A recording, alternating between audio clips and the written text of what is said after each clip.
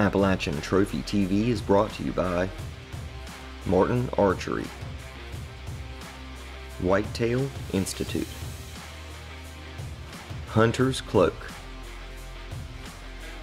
the Hatfield McCoy Trails, and these other fine sponsors.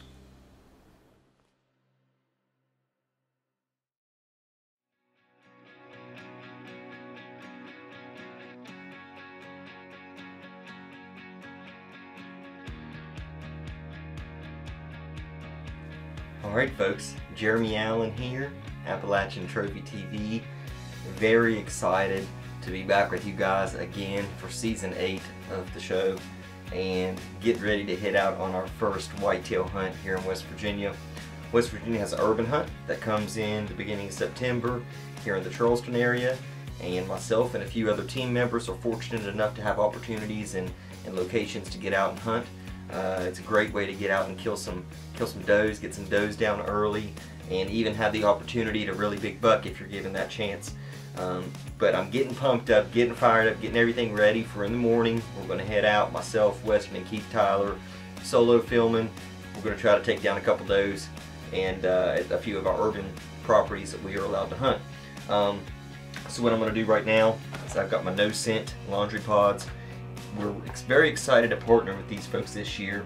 Mike and the gang have put together a great product to help keep you scent free in the woods. This product targets human odor alone.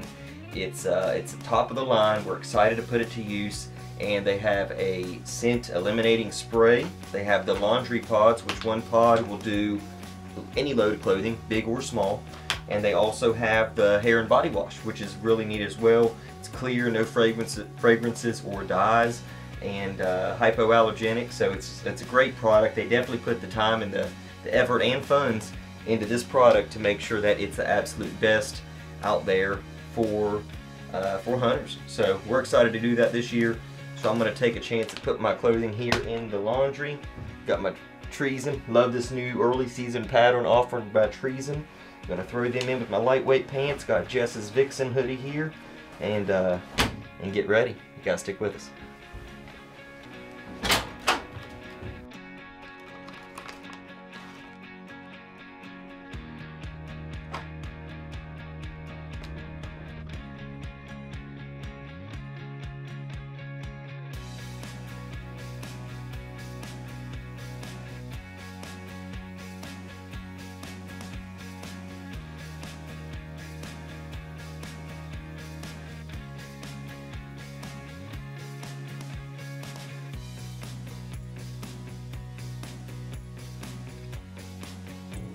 All right, folks. Well, we've almost made it into town.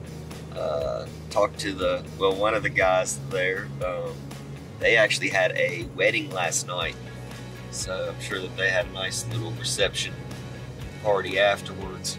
And uh, have nobody's heard from Keith.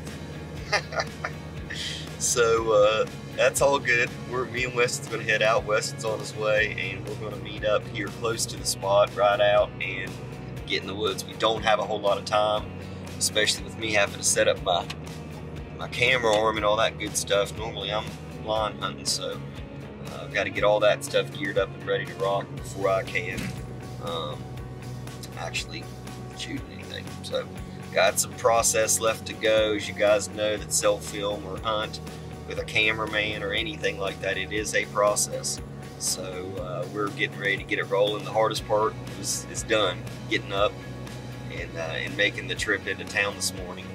So I'm excited for the first hunt of 2019. Uh, excited to put the Martin Max to the test this morning and hopefully put down a big old mature doe with great footage and be able to, to give that meat to someone that needs it, uh, which makes the hunt even more rewarding. Let's see what happens.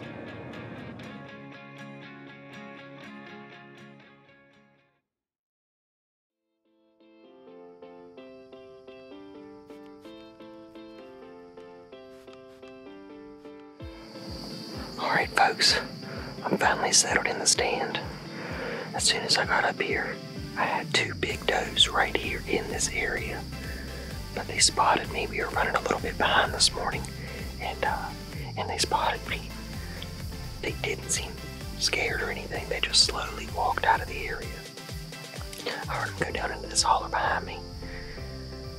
It's probably about 6:45 right now.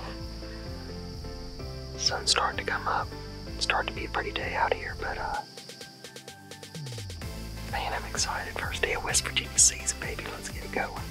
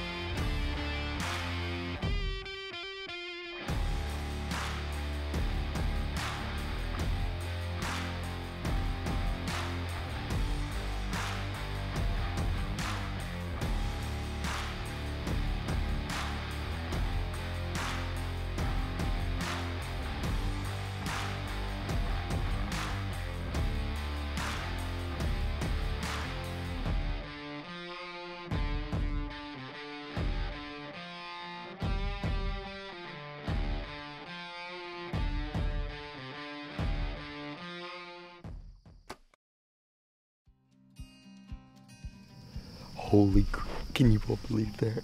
How cool was that hunt? That was so awesome. Got in here, had some deer in the area earlier, did my little interview with you all and told you what was going on, told you that they slowly worked out of the area.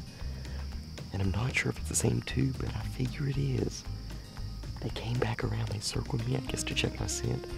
And I have my, my hunter's cloak mister going right here behind me with earth scent and then with the no scent sprayed down on top of me.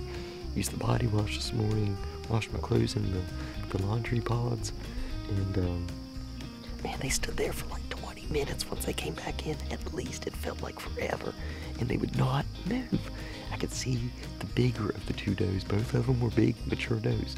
I could see the bigger of the two just laying in the back. She's the grandma.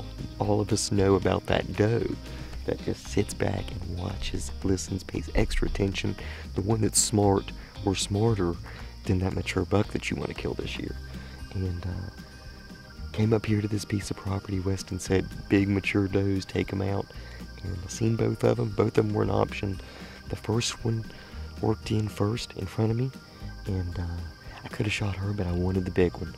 And I knew once the first one came in, it wouldn't be too long till old Granny felt that it was okay to uh, to come on in and check it out herself. And I had a deer busting down off the hill in front of me. I just didn't know how it was going to play out, but it worked out great because that deer busting off the hill kept their attention long enough for me to draw back this bow and put a SWAT broadhead in her. Now, I'm sure you guys seen I spined her, and that's the first deer that I honestly have ever spined in my entire life. And um, I'm not de- definitely not proud of that, and I'm there's a limb right here in front of me.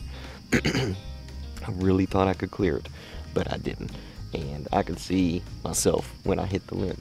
But luckily at 20 yards, it still, it just kicked it a little bit high and still went in. And I put a second shot in her, took took the lungs out with the second shot, so she didn't have to uh, didn't have to suffer. But um, man, what a hunt! Thanks to Weston for uh, inviting me to come over to to do this hunt with him. And uh, and special thanks to Martin for putting out an absolutely phenomenal bow. and our new title sponsor for this year, and I couldn't be more blessed to have this opportunity with them. Um, they make some great products. They really know what they're doing, and they put the time and effort and the and the funds into creating a product that every bow hunter can use and be successful with and accurate with. If you have the you know the main things, anchor points, and all that, and keep yourself consistent, these bows are phenomenal, and I mean they really are. Um, this is the Max 33, and at, uh, at, a little over 20 yards, it just put the smack down on this big, big West Virginia doe. That's one of the biggest does I think I've ever killed. Uh, she is a monster, but I'm just, just blessed to have this opportunity. We're going to get down out of the tree here in a second, go check her out. You guys stick with us here on Appalachian Trophy TV. Thanks for watching. You baby. Number one, 2019. Let's do it. Yeah.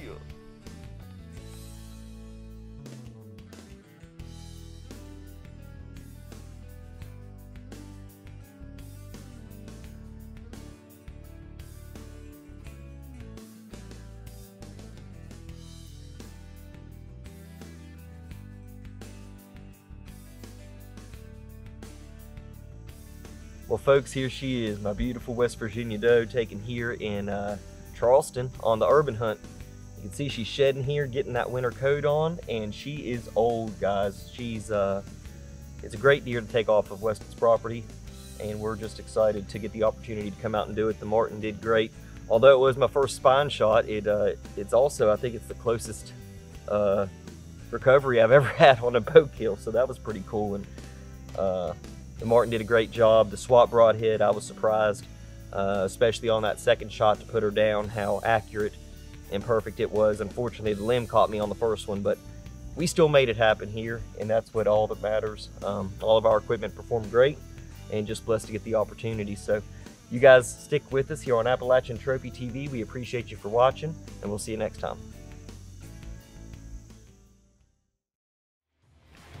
Appalachian Trophy TV is brought to you by Martin Archery, Whitetail Institute, Hunter's Cloak, the Hatfield McCoy Trails, and these other fine sponsors.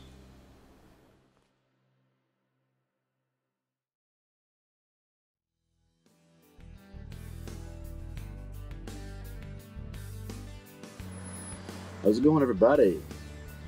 Keith Tyler here. Get ready to uh, do a little bit of evening hunting. Um, waiting on uh, team member Weston Salone to uh, to meet me here, and we are going to head out for a little evening urban archery hunt. Uh, it's been my third time out this year. It was pretty close the last time I was out. Uh, couldn't get a shot of the doe, so um, I'm gonna go try to get it done today. Uh, we've got a few down this year in the urban season. Uh, you got to take a doe before you can kill a buck. So we are uh, doing some doe management on some uh, properties, and the city really wants to um, lower the deer population. So we are helping uh, the city of Charleston achieve that. At the same time, we'll take y'all along, let you watch us, and um, help feed our families. So just uh, hang in there and uh, thanks for watching. We'll see what happens.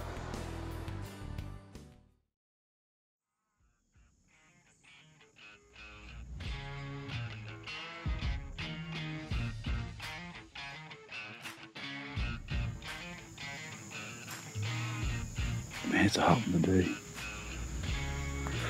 About 80, 80 degrees or so when I got into the stand. Um, 76 right now. Hopefully the deer gonna start moving a little bit. It's um, 20 after 6 or so. Um, so it's getting crunch time. Um, Weston's on out there trying to get him a doe. I'm trying to get me a doe down. It's been a while since I shot a deer. Um, shot coyotes. Uh, I think I missed a big eight about three years ago and I get stubborn and I won't shoot a doe early season. I won't shoot a doe. I won't shoot a doe. I want to shoot on the buck areas. And then it gets late season, and um, they're all skittish and hard to shoot with a bow. So I'm trying to get one down early this year. Go ahead and get jitters out of the way for when of my big bucks come in. I have a good chance of taking them. Hope I can put on a good show for y'all.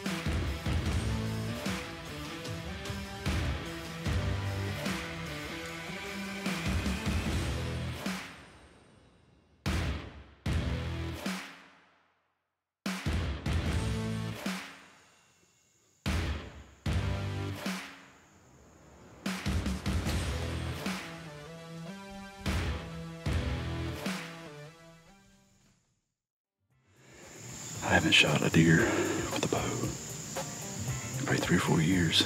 I'm so stubborn, always hunting spots with big bucks. City hunting this evening, almost six o'clock.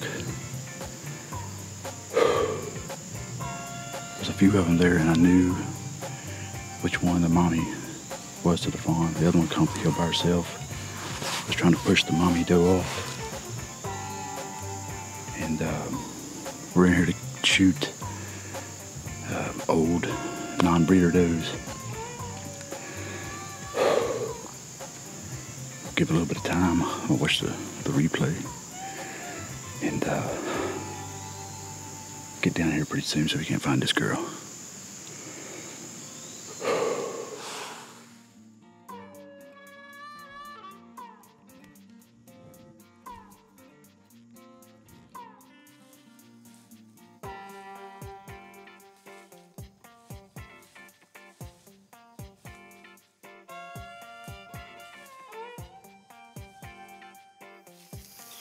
Here's a good spot right here.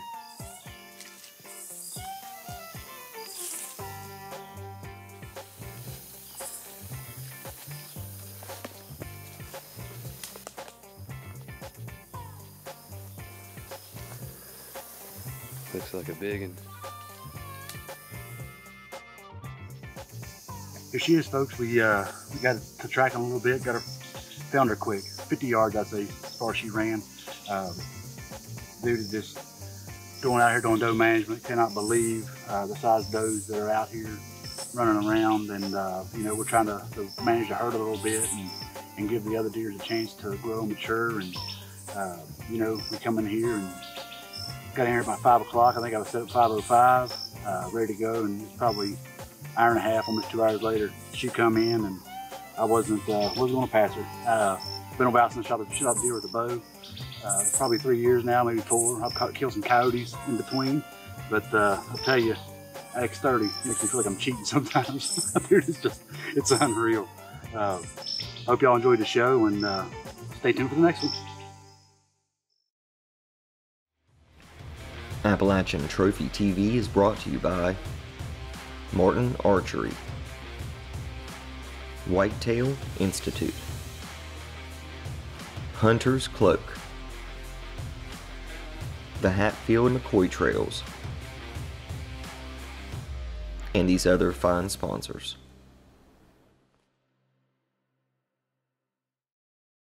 So just a great bird down. I appreciate you guys for tuning in this week.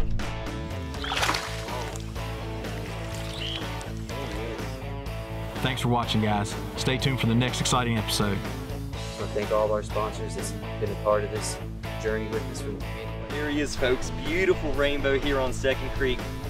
Here it is, outdoors Appalachia style, baby. Thank you guys so much for watching the show. Stick with us for more from Appalachian Trophy.